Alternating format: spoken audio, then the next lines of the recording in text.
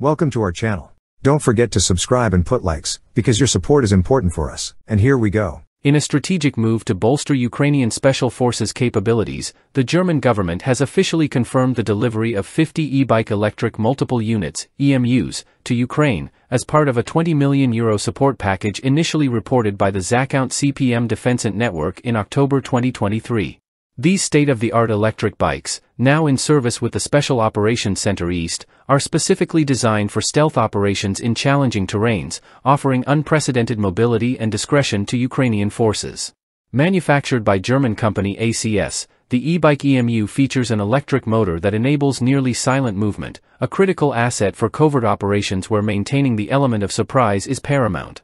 With a range of 60 kilometers, these bikes significantly enhance Ukrainian forces' mobility without the need for frequent recharging, thanks to an efficient battery system that allows for rapid replacements within seconds, ensuring high readiness during missions.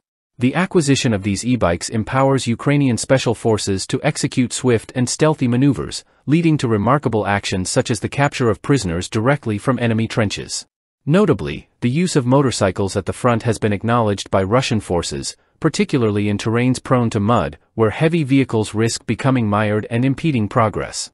The off-road capabilities of the e-bikes mitigate such challenges, allowing for agile movement even in adverse conditions. Equipped with an integrated blackout switch, the e-bike EMUs offer the ability to completely cease light emissions, vital for conducting covert night operations and rendering the bikes and their operators difficult to detect visually.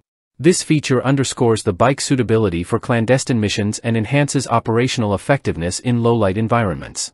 In conclusion, the adoption of innovative technologies like the e-bike EMUs by Ukrainian special forces reflects a commitment to maintaining operational vigilance and adaptability in modern conflicts.